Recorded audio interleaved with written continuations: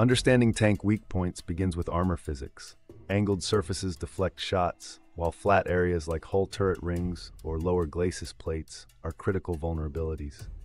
Modern tanks use composite armor, but even advanced designs have structural weak spots.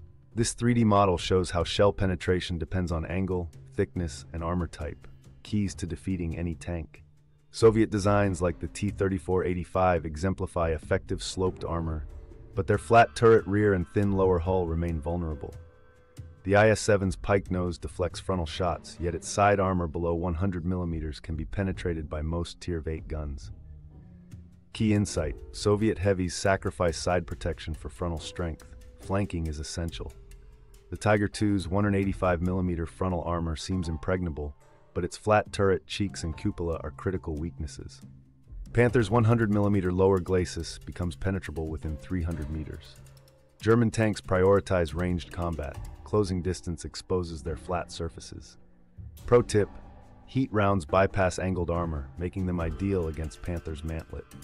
The M26 Pershing's tall silhouette exposes its lower plate, while the Type 5 Heavy's flat 260mm armor lacks angling. American mediums rely on gun depression, creating shots at their thin turret roofs when hull down. Japanese super heavies sacrifice mobility for armor, but gold ammunition penetrates their flat surfaces regardless of thickness. On Himmelsdorf's urban terrain, we flank an IS-7 to hit its side armor, then pivot to a Tiger II's turret weak spot. The final showdown against a Type 5 Heavy demonstrates gold rounds penetrating its flat hull. Remember, weak point knowledge combined with terrain use creates unstoppable players. Your key to victory lies in these critical hit zones.